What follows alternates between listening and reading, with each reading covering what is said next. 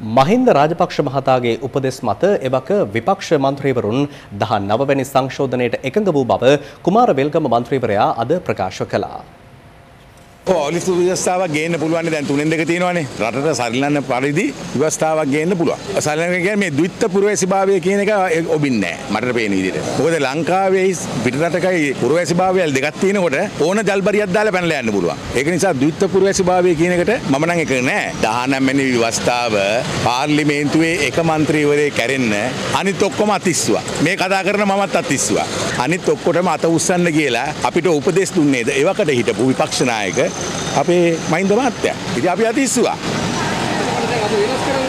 ඒක ඉතින් රාජපක්ෂ පවුලකින් අහන්න ඕනේ. ඒක පවුලේ විවස්ථාවයක් හැටියට තමයි මම දකින්නේ.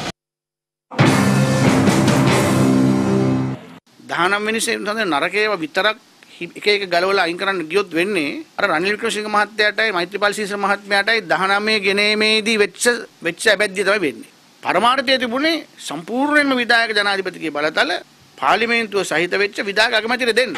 හැබැයි සුප්‍රීම උසාවියේ මැදිහත් වීම නිසා විධායක බලතල තැන් තුනකට ගියා.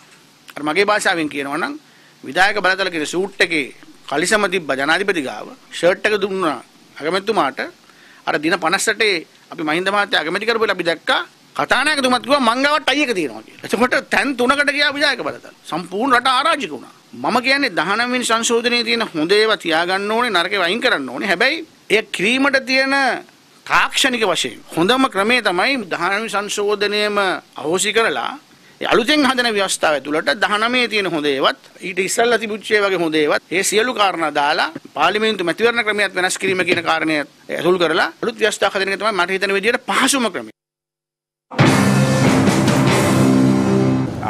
එකසිය දහතුනක් තිවුණම හොඳටම ඇති නමුත් ජනතාව එකසිය පනාක්ම දුන්නේ තුනෙන් දෙකේ බලය දුන්නේ ආණ්ඩුක්‍රම ව්‍යවස්ථාවේ යම් සංශෝධනයක් කරන්න නැත්නම් අලුත් ව්‍යවස්ථාවක් හඳුන්වලා දෙන්න. ඒ සඳහා ක්‍රියා කරනවා ඉක්මනින්. තරුණ මන්ත්‍රීවරු ඔබතුමාට විවෘත ආර්දනයක් කරන පාර්ලිමේන්තු පැමිණෙන්න කියලා. පාර්ලිමේන්තුවට වැඩිය මේ හොඳයි වගේම. එතන ඔබතුමාගේ පැමිණීම එහෙම සිදු වෙන්නේ නැහැ කියන කතාවනේ කාරණේද?